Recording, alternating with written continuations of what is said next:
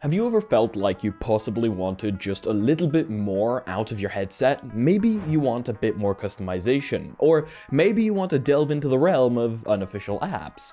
Well, what is up everyone, I'm Mysticle, and today's video is going to be all about that. I'm going to show you one simple way that you can get all of that onto your headset and so much more, whether you're using the Quest Pro, Quest 2, or Quest 3.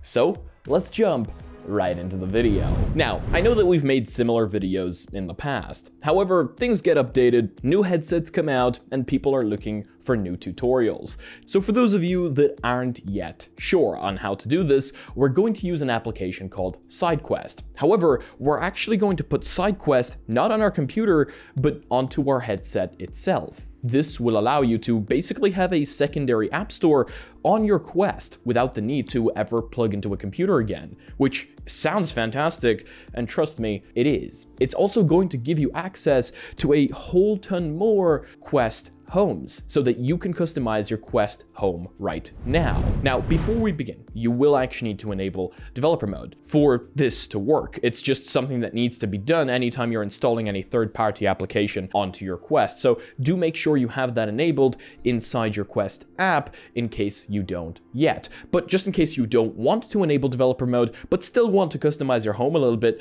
let me show you a quick method that you can customize your Quest home with without the need to install SideQuest or enable enable developer mode. As Meta recently added an update to your Quest where you can jump right into your Quest settings and change the background of your current Quest home, essentially allowing you to put any 360 image that you want on there, including one of your room, if that's something you feel like doing. Maybe making it feel a little bit more like an actual home.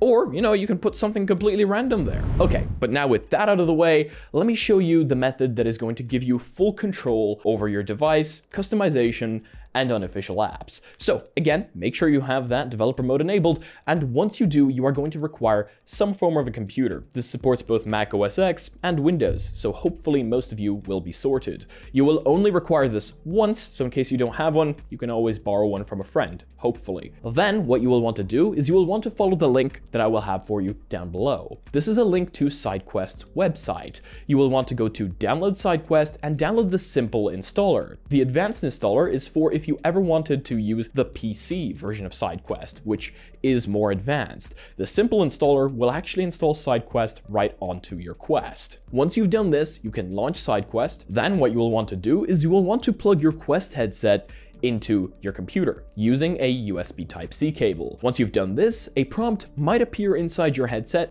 to authenticate the computer. Press always allow. If the pop-up never appeared, just launch SideQuest and follow the instructions that show up on the screen in front of you. This should only take a few seconds, and once it's done, SideQuest will be installed onto your headset. That's it, you're done. You don't need a computer ever again, unless of course you want to do some fancy stuff. Now you can unplug your headset from your computer and let's jump into virtual reality so that I can show you what you can do from here. Now that we're inside the headset, you will want to go to all apps, go up to the top right here, press on filter, and then select unknown sources. As you can see, I have other apps in my unknown sources right now, but the one you want to select is SideQuest. Now that you've launched SideQuest, you will need to link it over to your SideQuest account. So in case you don't have one, you're going to need to create one. You're going to need another device for this, so you can use a phone, or as a matter of fact, I'm fairly sure you can use the Quest's browser.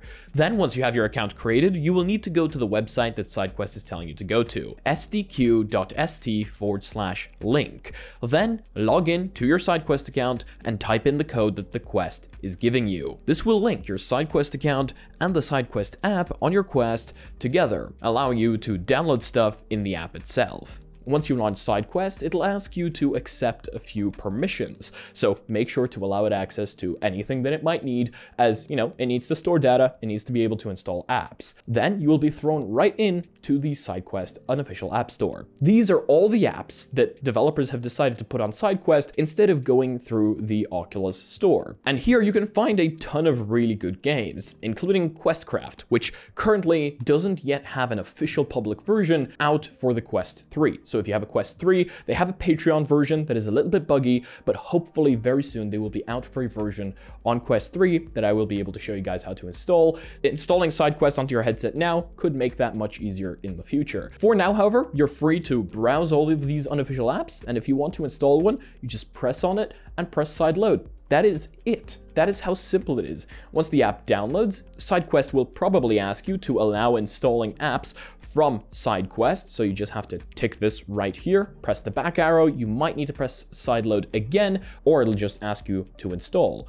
And that's it. Now that app will appear under your unknown sources tab, just like SideQuest did earlier. And when you launch it, it'll launch just like a normal VR game. So that is one of the nice benefits of having SideQuest right on your headset. You do not have to plug your headset into your computer every single time you want to install an unofficial app. So that's great. But a lot of you might be here for the Quest homes. And in SideQuest, you actually get to browse through a huge library of Quest homes that you can install right there through the app. To do that, you want to press up in the top left here, select custom homes, and here you go. There's a massive library of Quest homes right there for you to install. So let me show you how to do that, even though that is also really, really easy. Just select the home that you want and press side load. Then, once that is installed, in the exact same way that you would install an application, you want to go into settings, home environments, and that home environment should be showing up on the list right here. I'm actually really happy that they fixed this,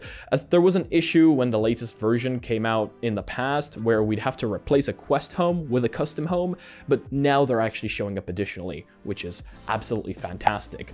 There is also Moon Home that you can get from the Quest store, but this one's paid in case you want more custom homes, and customizable Quest homes as well. It seems pretty nice, but you can't just download the Quest store version in order to install these homes. You will actually require Moonhome installer in order to install them, which is an additional APK that you have to get from their website and install that using SideQuest. And it doesn't seem to be on SideQuest itself, so you need to install it through the computer. So you need the advanced installer version of SideQuest from SideQuest's website, and you need the APK of Moon Home Installer, and then you connect your Quest to your computer and install Moon Home Installer APK through SideQuest to your quest. This is a little bit more confusing and complicated, but the nice benefit here is you seem to be able to generate AI skyboxes, and you can also customize your home, which is not something that is possible in a normal Quest home, which seems really nice. This video is not sponsored by them.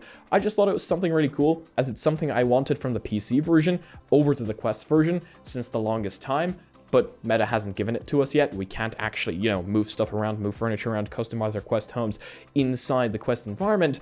So Moonhome did it. And I think that's really cool. Either way though, that is going to be it for today's video. Hopefully I could help you guys out. Hopefully you get a bit more customization and a bit more freedom on your devices now. And this will work on any Quest device that you have, whether it's the Quest 2, Quest Pro, or Quest 3. So you're all good there, no matter which device you have. In case you have any issues, check out our Discord down below and feel free to ask any questions on there or in the comments section, whichever way you feel like it.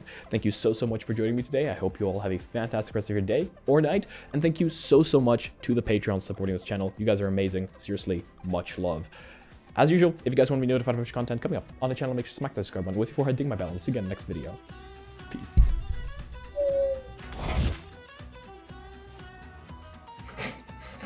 I guess we're doing this.